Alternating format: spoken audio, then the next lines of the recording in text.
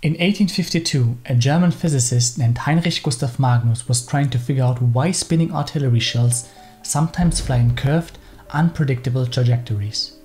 Arguably, one can also call the effect Robins effect, or at least Robins Magnus effect, as Benjamin Robins explained long before Magnus the phenomena and principles of gunnery in 1742 investigating cannonballs. What he discovered was that a sphere or cylinder spinning in a moving airstream develops a force at a right angle to the direction of the moving air and curves away from its principal flight path.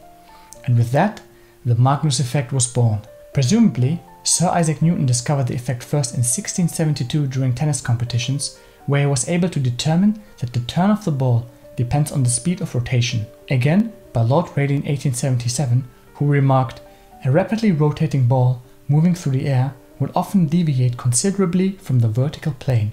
We can still see today how important the Magnus effect is in football, baseball, golf, tennis, or even engineering.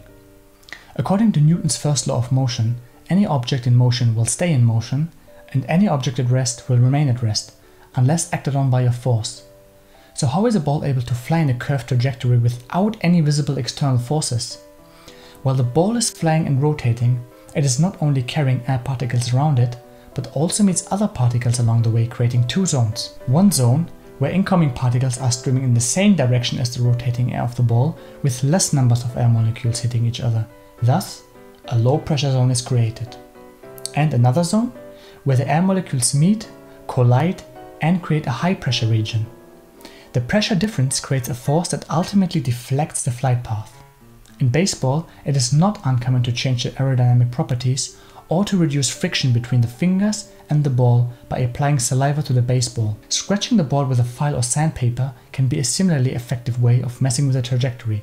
It's illegal, but one possibility. Historically, one of the most popular ways to get away with applying an illegal substance to the ball was to use a little bit of Vaseline on the inside brim of your hat in the dugout. Before pitching, players would readjust their cap and take a little bit of the substance off their thumb and apply it to the ball before pitching. The Magnus effect is not only useful to explain ball trajectories, but can even be used to change the direction of whole ships, also known as the Flettner rotor. These ships are equipped with one or more cylinders that can survive despite side winds. The interaction between the rotor surface and the wind flow creates a buoyancy force, giving a ship additional thrust. This not only saves fuel, but also reduces emissions. These rotors were developed as early as the 1920s, but did not catch on at the time due to the low price of oil. The same principle can be applied to planes with rotating cylinders, creating higher lift than conventional aircrafts, but also way higher drag.